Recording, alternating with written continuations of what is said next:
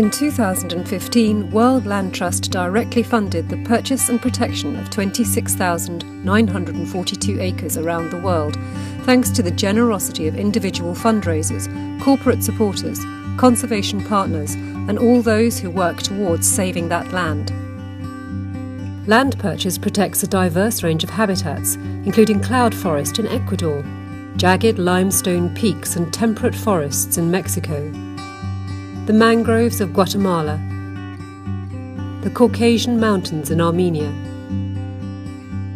and the Choco Forest of Colombia, the wettest forest on the planet. Leasing land is also a part of World Land Trust's protection strategy, and in 2015 leases in Armenia were funded to extend the Caucasus Wildlife Refuge, and the signing of a 30 year lease in Khe Nuoc Trong, Vietnam, was a milestone for the Carbon Balance Programme.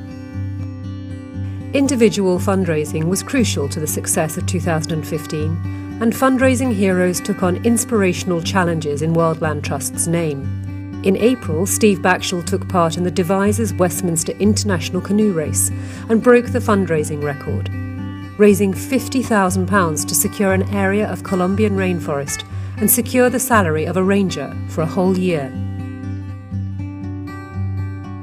The Action Fund ensures World Land Trust is able to provide funds where they are urgently needed, and in April secured a threatened property in Colombia at very short notice.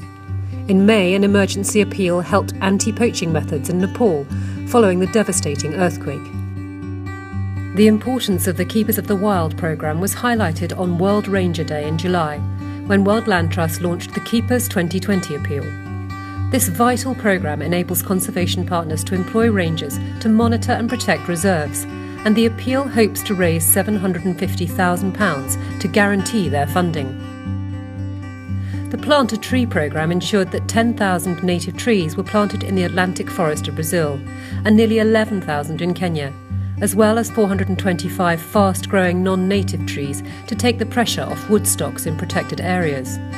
With help from the Body Shop, 1 million tree seeds will be sown in the dry forest of Ecuador. The private sector continues to support World Land Trust, and in 2015 some made donations based on turnover, and others contributed to conservation through the Carbon Balanced programme.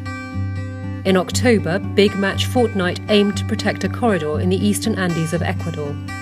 By the end of 2015, the Forests in the Sky appeal had raised £372,000 and already protected 2,545 acres of cloud forest. The appeal continues. In December, Carbon Balanced Paper was relaunched in partnership with Carbon Co.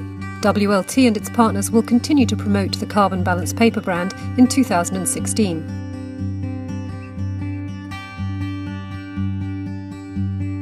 Another major achievement of the year was the purchase of 17,000 acres in the Paraguayan Chaco, which contains species found nowhere else in the world.